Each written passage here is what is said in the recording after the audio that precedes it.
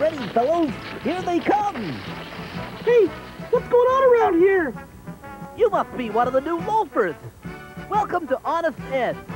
You know, nobody stays here long. There's no place to hide in any of Ed's 14 full-range departments.